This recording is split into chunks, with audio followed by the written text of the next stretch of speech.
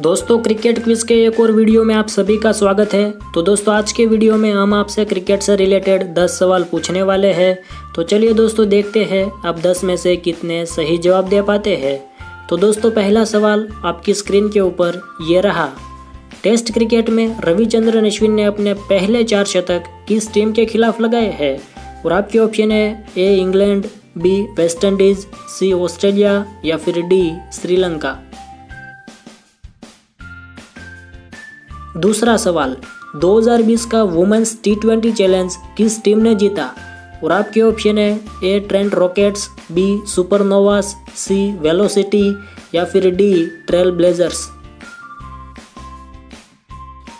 तीसरा सवाल आईपीएल 2021 में चेन्नई सुपर किंग्स ने जोश एजलवुड के रिप्लेसमेंट में किस खिलाड़ी को टीम में शामिल किया है?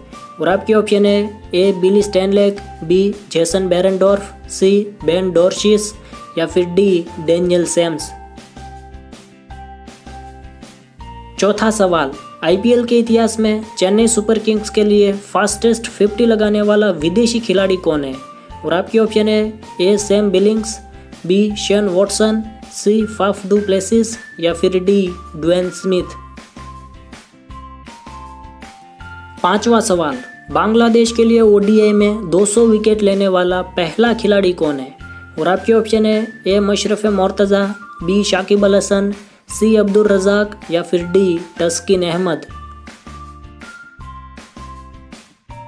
छठा सवाल, किस भारतीय खिलाड़ी ने ओडीआई में ऑस्ट्रेलिया के खिलाफ सबसे ज़्यादा विकेट्स लिए हैं? और आपके ऑप्शन है A Harbhajan Singh B Anil Kumble C Kapil Dev या फिर डी जहीर खान। सातवां सवाल ओडीआई में कप्तान के तौर पर सबसे ज़्यादा शतक लगाने वाला खिलाड़ी कौन है? और आपके ऑप्शन है A Eoin Morgan B Sourav Ganguly C Sanath Jayasuriya या फिर डी रिकी पॉन्टिंग। आठवां सवाल टी ट्वेंटी आई में सबसे तेज 2000 रन बनाने वाला खिलाड़ी कौन है?